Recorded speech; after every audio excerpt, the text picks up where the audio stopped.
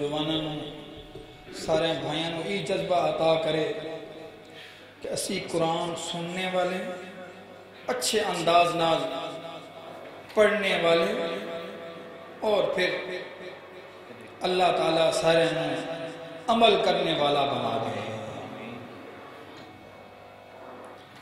دنیا نے سارے باقی کام سمجھنے ہیں ضروری ہیں۔ سکولنی تعلیم بھی بڑی ضروری ہے۔ انجینئرنگ نہ پروگرام کرنا بھی بڑا ضروری ہے۔ ڈاکٹر بننا بھی بڑا ضروری ہے۔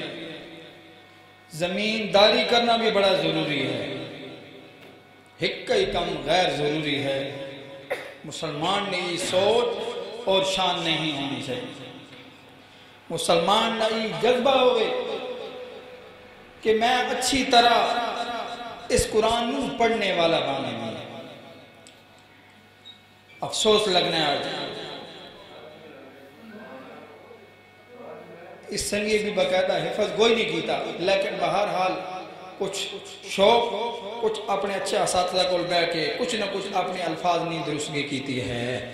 اللہ تعالیٰ مزید ای جذبہ اور شوق عطا کرے کہ اللہ نہ قرآن اسی اچھے انداز نہ پڑھنے والے بن گئے کیوں؟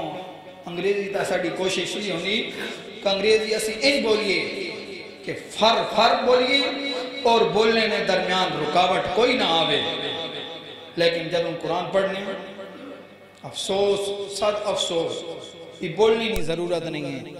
ہر ایک بندہ میں نے سمیت اپنے گریبان وچ جھانکے اور سوچے کہ میں قرآن نہ کتنا حق ادا کر رہا ہوں حافظ محمد نیر۔ تلگم مدرسہ احیاء العلوم اساڑا مرجان آلہ نے حوالے نالی مشہور ہے کہ مرجان آلہ نے مسجد تلگم مدنی مسجد تو یہ دوست میرے نال آئیں نہ درخواست کرے سا کہ آگے اللہ نے کتاب نہیں تلاوت کر